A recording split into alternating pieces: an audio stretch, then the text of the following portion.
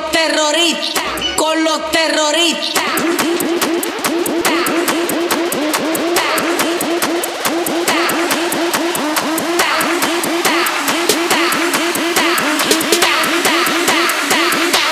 and do the Harlem Shake.